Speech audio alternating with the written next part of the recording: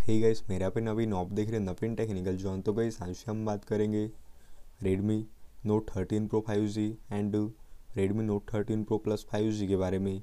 And guys आज का हमारा टॉपिक है साउंड प्रॉब्लम सॉल्यूशंस के बारे में। तो गाइस अगर आपके फ़ोन में आपको साउंड से रिलेटेड प्रॉब्लम्स है, जैसे कि आपको किसी भी चीज़ का साउंड शो नहीं कर रहा है, आपको साउंड प्राप्त नहीं हो रहा है साउंड सुनाई नहीं दे रहा है, जब भी आपको कोई भी नोटिफिकेशन वगैरह प्राप्त होता है तो आप कैसे यह प्रॉब्लम्स को ठीक करेंगे? तो क्या इस वीडियो को लास्ट तक देखिए एंड समझिए एंड अभी तक आपने हमारे चैनल को सब्सक्राइब नहीं किया है तो प्लीज़ सब्सक्राइब कर दीजिएगा तो आप सेटिंग्स ओपन कर दीजिएगा एंड यहाँ पे आप नीचे में साउंड एंड वाइब्रेशन पे जाइएगा तो गाइस यहाँ से आप चेक कर लीजिएगा कि आपके फ़ोन में रिंगटोन्स सेट है या नहीं। अगर आपके फ़ोन में रिंगटोन सेट नहीं होगी तो यहाँ से आप रिंगटोन्स को सेट कर दीजिएगा एंड यहाँ से आप media volume ringtones volume and alarm volume को यहाँ से आप इंक्रीज़ कर दीजिएगा।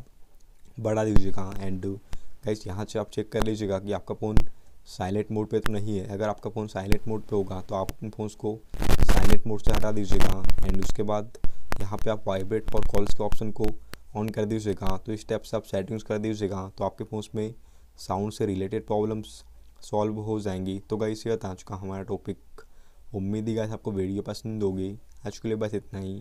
Thank you